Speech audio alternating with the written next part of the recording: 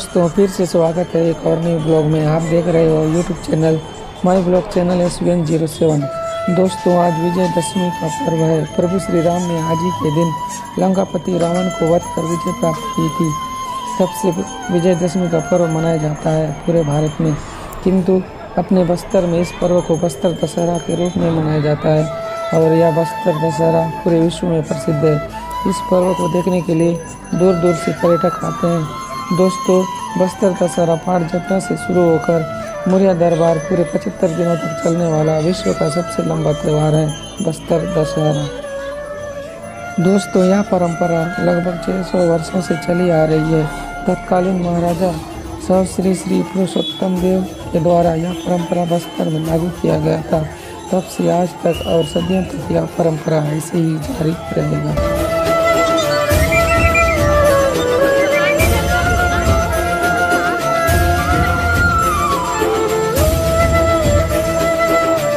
ये देख सकते हो भैया, ये घंटेश्वरी टेंपल है जो आप लोगों के सामने नज़र आ रहा है। ये देखिए, क्या खूबसूरत नज़ारा। यहाँ पर लोग काफ़ी संख्या में आए हुए हैं। आप देख सकते हो कितनी भीड़ है चारों तरफ़। देख सकते हो, ये खूबसूरत नज़ारा। ये मंदिर का दृश्य घंटेश्वरी टेंपल। ये देखिए। बढ़िया नज़ारा भैया, अपना बस्तर में इस प्रकार होता है। बस्तर दशहरा तेरा कितना खूबसूरत नज़ारा है। देखने है, देखिए, चारों ओर का नज़ारा कुछ इस टाइप का दिखता है। मंदिर को बहुत ही खूबसूरत सजाया गया दोस्तों। ये देखिए, यहाँ काफ़ी संख्या में लोग आए हुए हैं इस पर्व को मनाने के लिए और देखने के लिए। भी लोग काफ़ी संख्या में मौजूद हैं।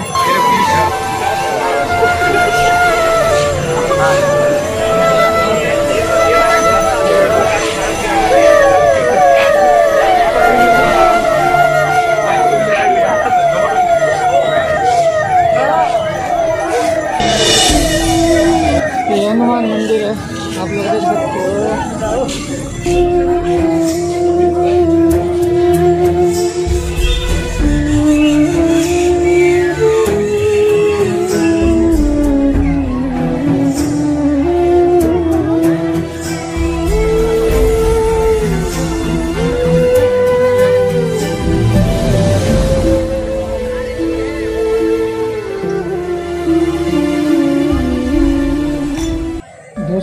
बस्तर दशहरा में का परिक्रमा किया जाता है। इसमें माँ दंतेश्वरी माई शामिल होती है और पचपन परगना गाँव से देवी देवताओं का आमंत्रण किया जाता है।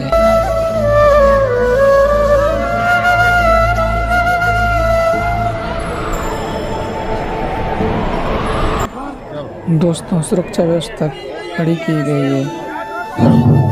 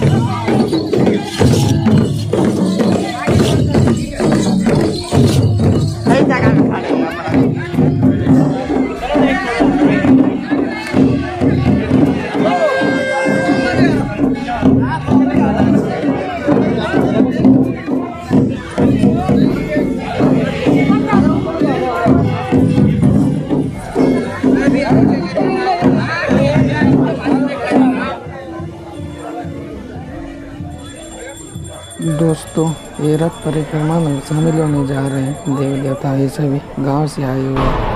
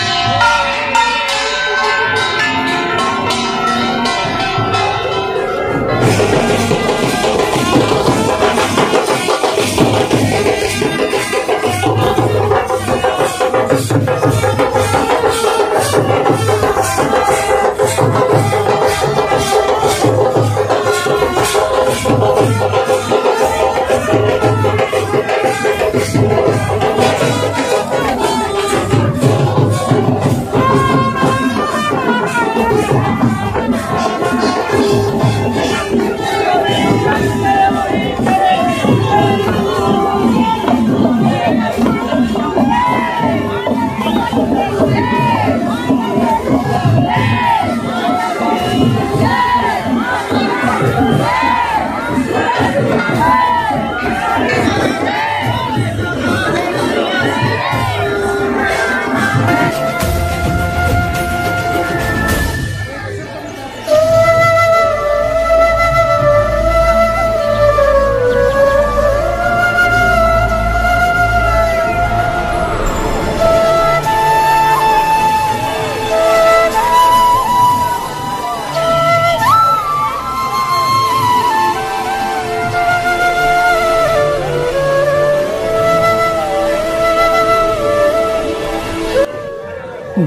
देख रहे हो दंतेश्वरी माई का छत्र रथ के ऊपर में ले जाया जा रहा है। दोस्तों, इसमें रथ चुराने की भी परंपरा है, जिसे भीतर रहनी रस्म कहा जाता है। इसमें पचपन परगनाओं के गाँव के लोगों को सबका काम अलग अलग होता है। किंतु जब पहली बार दशहरा मनाया गया, तब मड़िया माड़िया जनजाति के लोगों को कोई काम नहीं दिया गया और वे नाराज़ हो गए। दंतेश्वरी मंदिर में रथ परिक्रमा होने के बाद आधी रात को रथ को चुरा लिया जाता है। जगदलपुर से लगभग पाँच किलोमीटर की दूरी पर स्थित कुंडकोट के जंगलों में रथ को छिपाया जाता है। दोस्तों, रथ खींचने के पूर्व अभी पूजा आरंभ हो चुका है और यहाँ पर फिर से काला बकरा, लाल बकरा और ज़िंदा मंगूर मछली को बलि दिया जाता है। उसके बाद रथ खींचने की प्रक्रिया प्रारंभ होती है। आप लोग देख सकते हो।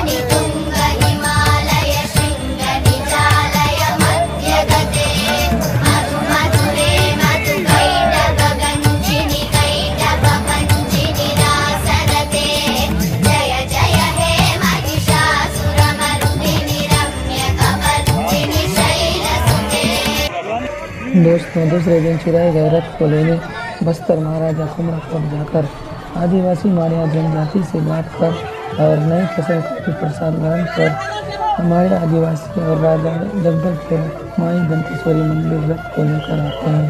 तभी रथ की पूर्ण परिक्रमा मानी जाती है। ये देख सकते हो रस्सियों के सहारे रथ को खींचा जाता है। दोस्तों, रथ खींचने के पूर्व तोपों से सलामी दी जाती है।